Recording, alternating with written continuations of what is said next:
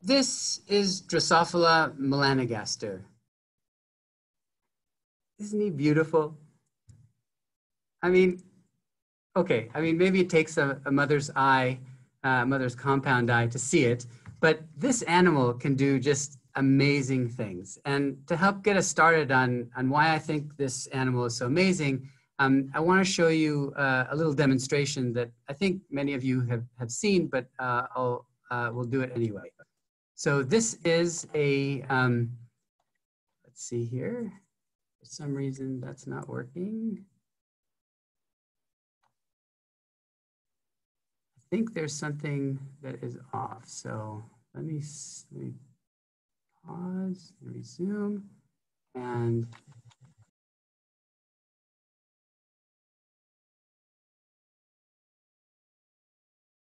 I want to do a, a, simple control problem for you. I'm going to try to balance this meter stick on the tip of my finger. Now, the idea is that the meter stick is going to rotate, and my hand needs to adjust itself fast enough so that I can catch it before it falls. Now, this is a problem that most of us can do. But once we start shortening the meter stick, like for example, if I tried to balance a pen on my finger, then we're already doing something that's pretty much impossible for most humans to do. And the reason is that the time that it takes for the pen to rotate shrinks with the size of the object. So by the time I get to something that's 10 times smaller than the meter stick, oops, yeah, this thing, it's just really hard to do.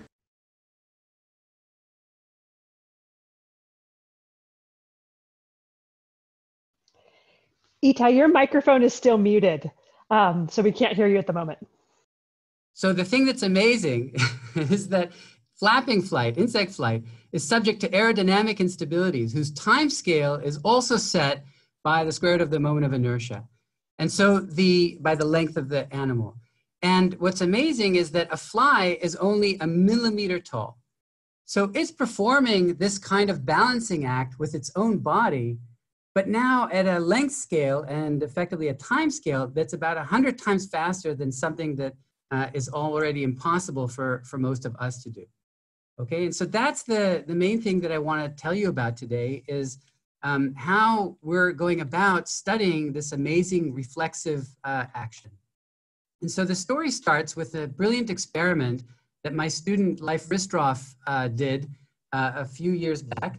And what he noticed was that if you take this brush from the Gordon Brush Company and you take a little clipping, you can glue that little clipping to that uh, to the back of the fly, and it's it's the fly is fine, it's still flapping its wings, no problem. But the thing that's nice about this clipping is it's magnetic. And so if we put a bunch of these flies into our arena where we record them from three different directions with fast cameras, and then have a laser trigger so that when a fly comes in, the cameras start recording. But if we now include a pair of Helmholtz coils along with the recording cameras that are triggered by this laser, then as the fly is moving through the filming volume, we can give it a little tiny perturbation and get it to uh, uh, have a mechanical uh, displacement. And so this is what this looks like for a pitch perturbation. You see the pin on the back of the fly, that's this thing right here.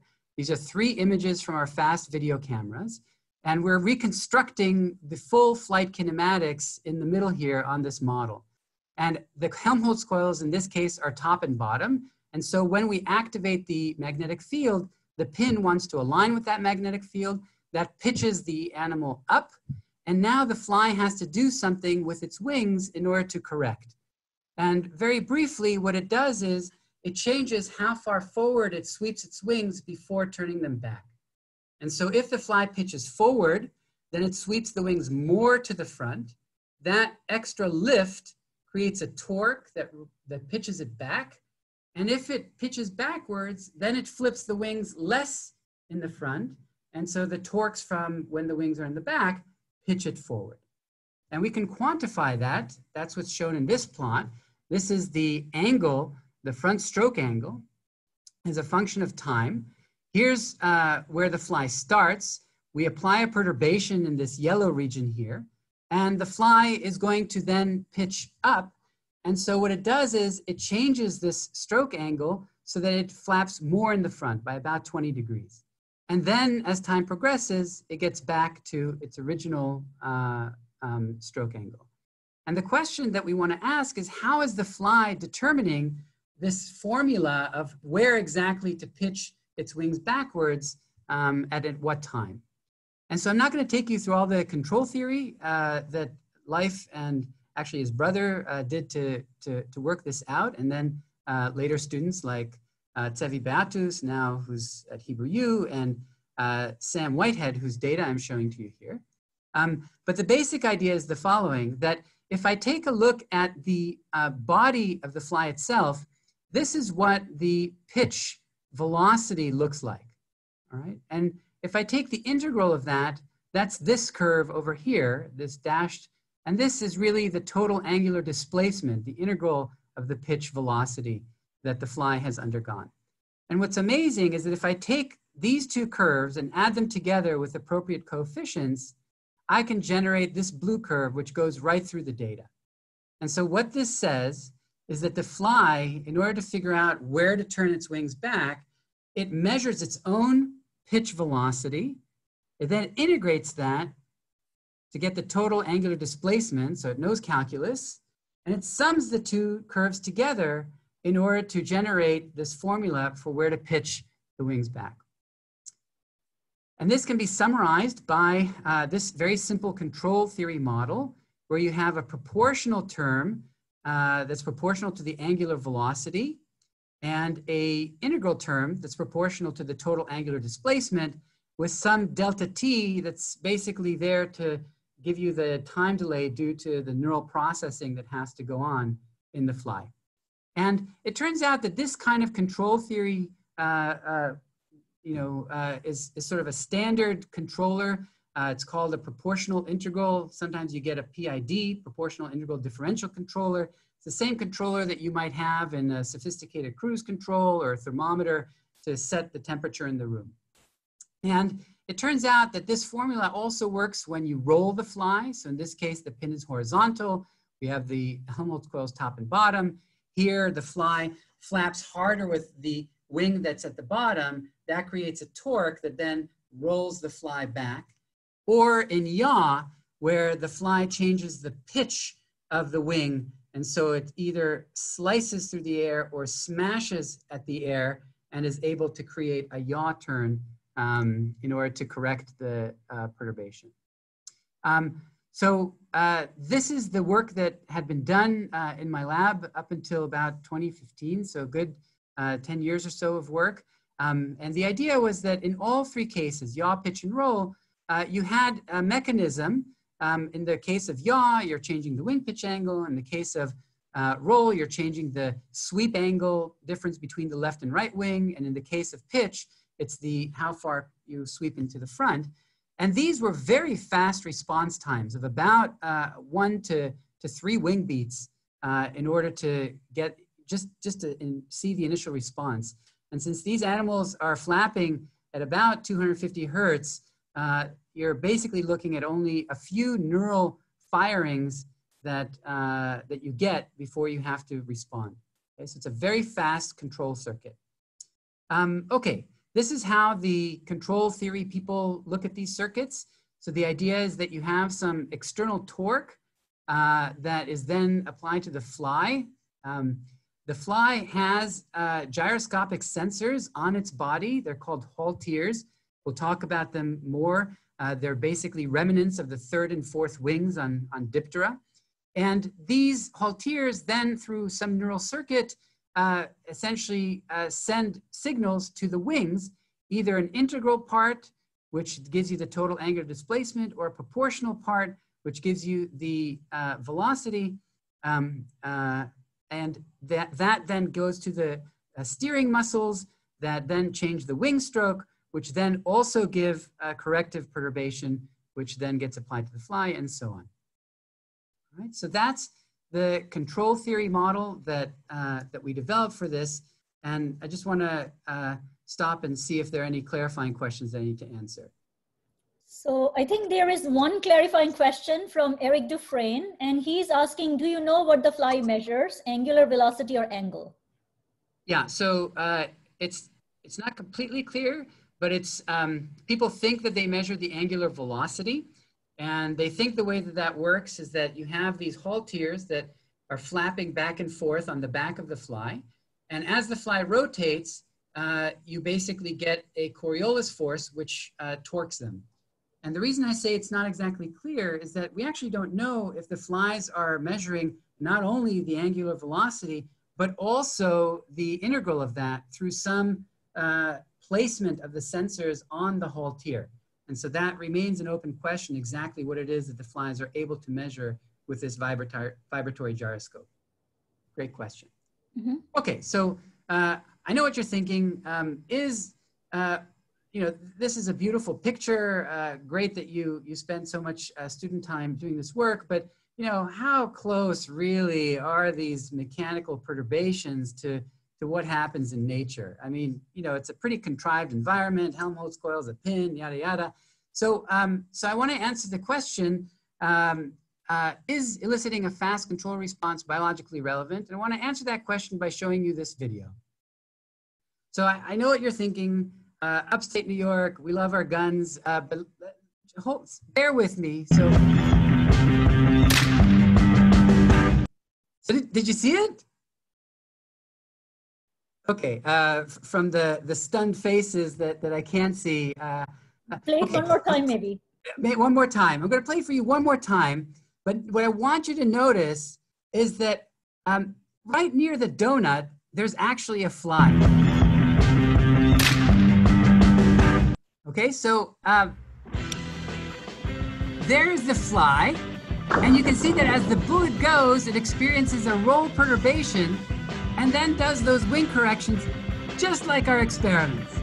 And so I think the answer is unequivocally yes, that these kinds of roll perturbations happen all the time in nature, at least in upstate New York, uh, and that these flies have to correct for these perturbations in these very extreme maneuvers. Okay, now um, I said that the fly does this through a set of vibratory gyroscopes on its back, and this is the video that sort of explains uh, how, how, how we know that. So um, like I said, flight is unstable to these kinds of perturbations anyway, and the insects are constantly needing to correct these torques. And so here's a movie of uh, an insect taking off and, and flying no problem. But I, I, hope you can see that, that something is very strange with this movie, which is that the, these flies um, have been decapitated and then their necks have been cauterized. And the way that we make them take off is by raising the temperature. So this is another reflex action. You raise the temperature, they tend to want to go away from that surface. And these flies can fly no problem, even though they have no head. In the words of, of Jim Truman, whose videos uh, these are, uh, the head is overrated. Uh, no, so what's happening is that the fly uh, is able to stabilize its flight with a pair of gyroscopic organs called the halteres. So that's what uh, I'm pointing to with my mouse here. Maybe I'll uh, go back to the laser pointer, uh, this little thing right here. And uh, if you take uh, a video of them, uh, this is from the Fox lab, you can see these uh, halteres flapping basically at the same frequency as the two wings. And that's, like I said, because the remnants of the third and fourth wings that all Diptera used to have. In fact, the halteres have the same kinds of steering muscles that are in the wings.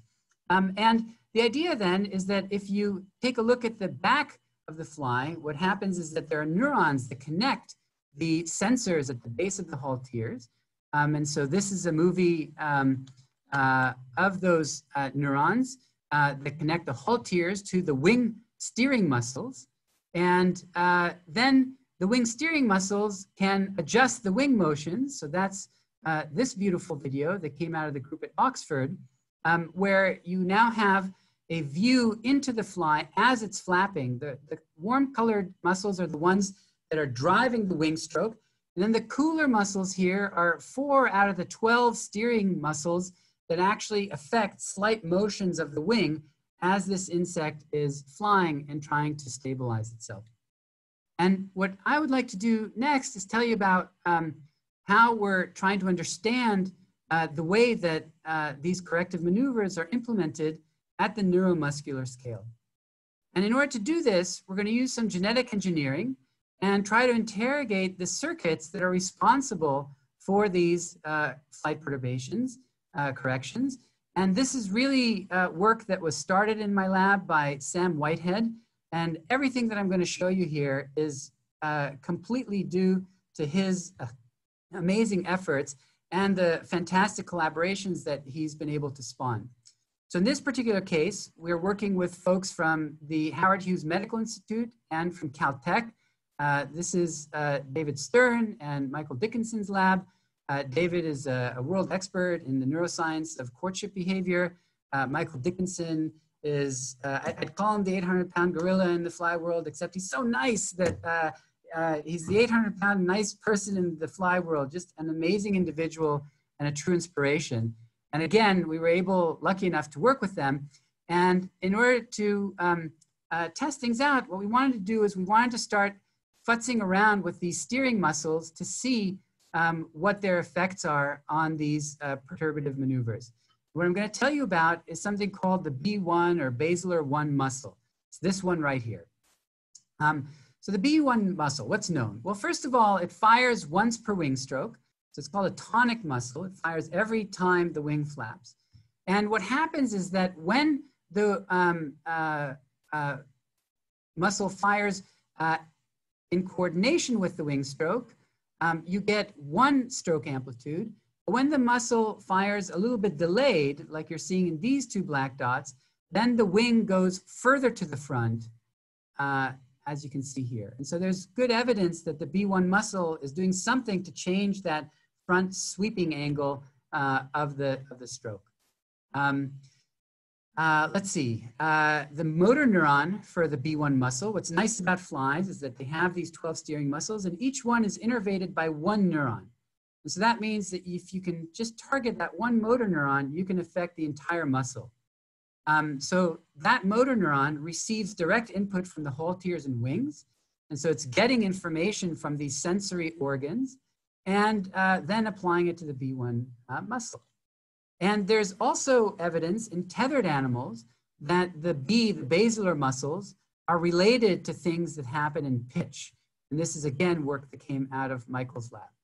And so what we wanted to figure out was whether or not we could start to manipulate this neuron and see if it affected flight, uh, free flight uh, as well in this, uh, in this manner. Okay, so again, this is the uh, B1 motor neuron. And what's amazing now as, is that with genetic engineering, we can target individual motor neurons in the fly ventral nervous cord. That's what you're seeing here. Um, and we can do things. So for example, we could just leave the motor neuron alone, or we could manipulate it um, optogenetically and essentially put a little knob on it that allows us to dial its activity from, uh, you know, very active to inactive. And so what do we see when, when we do that? Well, if I have a fly that's coming in, uh, it's been normal its whole life, and then all of a sudden we shine a green light on it. Um, in that particular case, what we find is that when the LED is on, the fly's pitch starts to go lower and lower. So if the pitch angle used to be around 45, now you can see the pitch is getting much lower. When we turn the LED off right around here, the pitch recovers. And if we plot a, a controller uh, model, what we find is that um, in this particular case, the integral gain for the controller has uh, gone away. Okay, it's uh, whereas the proportional gain and the time delay look like they're relatively unaffected. If we do the opposite, if we now activate the B1 motor neuron, and that in turn activates the B1 muscle, um, we get this movie. So this is a movie of a fly, normal its whole life all of a sudden we shine red light on it and we uh, activate the muscle. That ends up apparently causing the wings to go so far to the front that the fly actually ends up doing a backflip in midair. Right? So this is, uh, I think it's in fact two backflips in, in midair by the time, or by the time uh, this is done for some of the movies that we've seen. Okay, so again, the idea is that you're activating something that's giving you a pitch uh, of the fly. Um, you can quantify this data, so not just two movies, but do it for many, many flies. And what you see is that uh, when we inactivate the muscle, um, what you get is a reduction in the pitch. Not much happens to roll. not much happens to the yaw. If you activate it, the pitch goes up. And again, not much happens to roll or yaw. And like we expect, when you activate the wing uh, stroke, uh, shrinks a little bit. When you, uh, when you deactivate, it shrinks a little bit. When you activate, it increases a little bit uh, as, as we expect. So what about control? How does this all work in the context of these perturbation experiments that I was showing you? And so if we take a look at a movie of a normal fly, um, we see just everything as before. The, the pitch perturbation is applied. The fly flaps uh, less in the front to get it back to normal. And if we uh, fit this data with a PI controller, um, we uh, do just fine at predicting this uh, forward sweep angle of the wing. Now, if we do this with a silenced fly, what we find is that the pitch of the fly initially is actually uh, wobbly. And then when we apply the perturbation, we find that it is able to stabilize or sort of wobble itself to a new set point, but it's completely lost any information about where it came from. from. And we can still fit a controller to this uh, wing stroke, but this time it's only a proportional controller. It's as though we've turned off the integral part, which tells the fly the total angular displacement, which is why it can't find where it came from again. It has to stabilize in, around a new angle. You can quantify this data, again, by heroically doing this for many, many flies. Um, and what we find is that, as we uh, showed in the movies, the integral gain is substantially different um, when you look at the uh, silenced neuron as compared to the normal flies. And the proportional gain uh, looks unaffected and the time delay looks unaffected for these flies. And it doesn't really matter if you uh, roll left or, or, pitch, pitch up, pitch down. Uh, they basically have the same types of behaviors. So when we take out this motor uh, neuron, we essentially kill this integral part of the uh, control uh, diagram. All right, well, what happens if we do another basilar muscle? So, so here's work that uh, I'm showing you now on the B2 muscle, another one in the basilar group. And again, what we find in this particular case is that the integral controller is just fine, but now the pitch gain is significantly lowered in the case where you silence the B2 motor neuron. And so in this particular case, what you do is you uh, unlock this part of the control circuit. And so what we've done is essentially figure out where in the fly these elemental control you know, bits are. And that gives us um, a place where we can start pulling the thread and looking at the complete control circuit as we trace it back from these motor neurons all the way back to the halteres where the uh, sensory signals were coming from. Okay, um, if I take a look at roll control while I'm uh, uh, silencing either the B1 or the B2 uh, muscles, I get no uh, change in the integral, proportional, or time delay uh, parameters for the roll perturbations. So in other words, silencing the B1 and B2 seems to leave roll unaffected. And that gives us the hypothesis. Um, so this is for B1, and here's the data for B2. Same, same thing, you don't get any effect. And that gives you the hypothesis that really you have a separate PI controller for each degree of freedom, and maybe they act in parallel to one another. So the idea is that you you don't have everything sort of going through one circuit that then affects uh, the other ones. You have parallel channels for these controllers that allow you to have very rapid response and they do it in a way that uh, completely doesn't affect, one doesn't affect the other. At least that's the conjecture that we currently have. And we're working very hard to test that conjecture and see uh, if it uh, um, gives us uh, if we're able to prove it one way or the other. Um, so is it just that simple? Is it just uh, three PI controllers, uh, parallel circuits? Um, well, we know that it can't be just that simple. Um, so for example, in this particular case, we have a fly with a magnet on its back. And what we do is we take the field and we start switching it. So this is, I think, the first ever quadruple pendicular quad helix with a twist that a fly has ever done. And what you'll notice is that when we shut the magnets off, after one, two, three or so wing beats, the fly is able to recover. And what's amazing about that is that the fly didn't roll back eight times. If this was really a linear controller, then if you roll it forward eight times, you'd expect that it'd go back eight times. And so somehow the fly has a mod function on the circuit.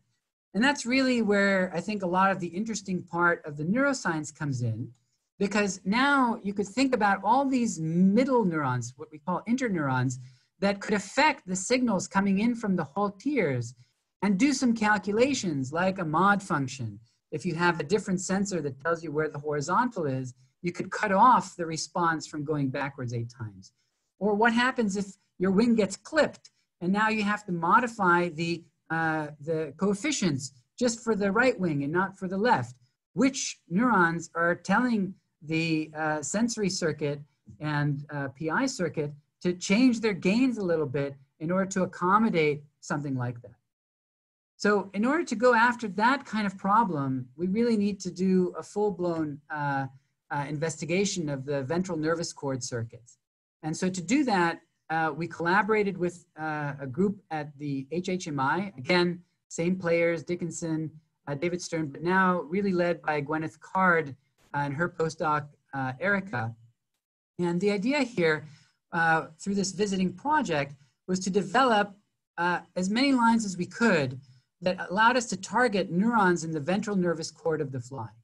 And so that's what we did. Uh, these are some of the uh, 200 or so uh, clean lines that we were able to get out. So each one of these is essentially a line where we can activate or deactivate individual neurons or sometimes small number like two or three neurons in the ventral nervous cord.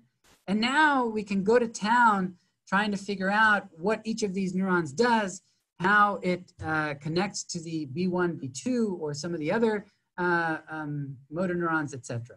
So let me just show you some of the very quick results uh, that we're getting. I won't go into detail on these because I know uh, I need to finish up. So this is the tergopleural muscle, one of the 12 steering muscles that wasn't thought to be important for flight, but it looks like it changes the pitch of the fly. So if you look at the fly's pitch, it actually goes up when we uh, activate these muscles. Um, this is the I1 and the I2 muscles. And if I play the videos, what you'll see is that when we activate the flies, um, look what happens to its wing stroke right around here. The wing stroke completely stops, right? So these uh, flies are now just floating downwards when we activate these I1 and when you uh, turn it off, they can flap again.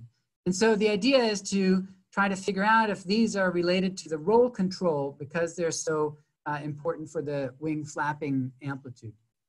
Um, the 3-1 uh, muscle here, uh, if I play this video, what you'll see is uh, that this muscle, uh, sorry, I'm playing these two as well, but let's just focus on the bottom one if you activate it, uh, what you end up getting is a rolling fly. So it's easiest to see over here that the fly is rolled when you activate the 3-1 muscle, giving you an asymmetric response. And so again, the idea is that by going after these, you can try to trace back which PI controller they're attached to. And then by doing these experiments, not just with the uh, motor uh, neurons, but also the interneurons, trace it back to the halteres, and really figure out how these insects are controlling their flight through these optogenetic stimulation suppression and magnetic field experiments. Okay, so in the one last minute, um, I just want to uh, address uh, uh, the fact that these are the folks who are, who are doing these experiments.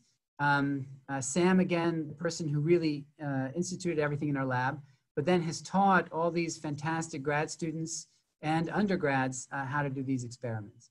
Okay, so in the last minute, I just want to ask the question, is this machinery necessary?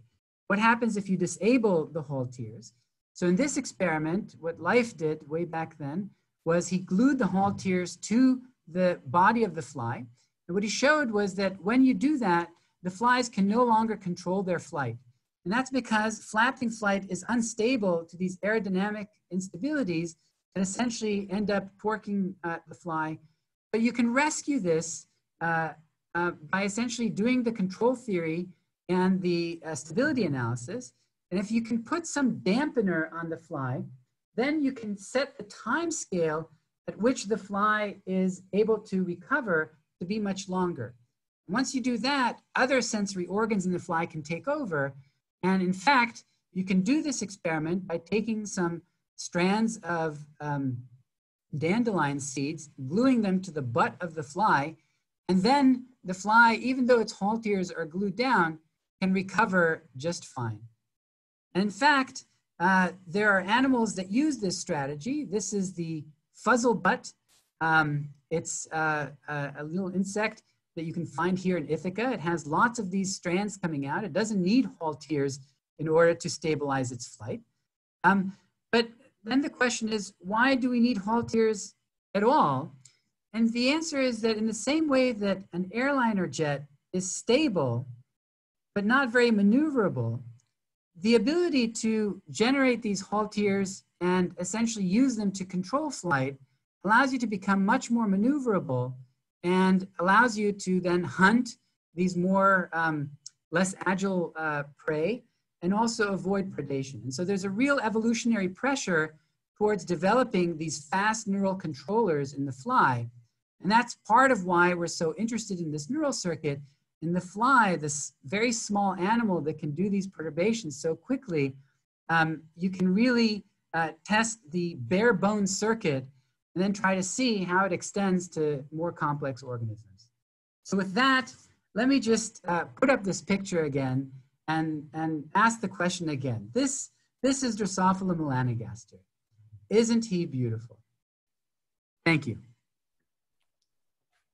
Thank you, Itai, for a very nice talk. So we are going a little over time. So what I will, I will do is I will ask you one question from chat, and then we will take more questions on this part of the talk, you know, at the end of both talks, right? So the question I want to ask uh, is Shriram's question, and I will combine Wallace's comment with it. So Shriram's question is, how long does a headless fly fly? What coordinates its motion without a brain? And Wallace's comment was, like, is the headless fly, uh, can it still do roll correction? Yeah, so the answer is it can still do roll correction.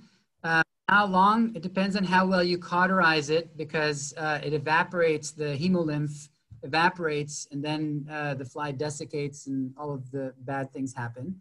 Um, flies can do an amazing amount of things uh, without a head. They can groom, uh, they can fly, they can walk. Uh, so a lot of these, um, what's known as reflexive actions, they can do without a head. In terms of trajectory, you know, uh, at some point it's going to, you know, lose its way or bump into a surface and not know what to do. So it's not like the, the head is not needed at all.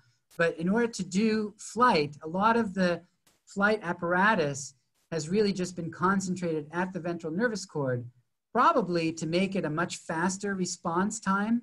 So you don't have to go through the 50 milliseconds that it would take to compute a response in the brain and then send it back to the wing neural muscles. Here you can get a response in five milliseconds, one of the fastest responses in the animal kingdom certainly one of the fastest neural responses uh, that isn't just purely mechanical in the animal kingdom. Really amazing um, feat.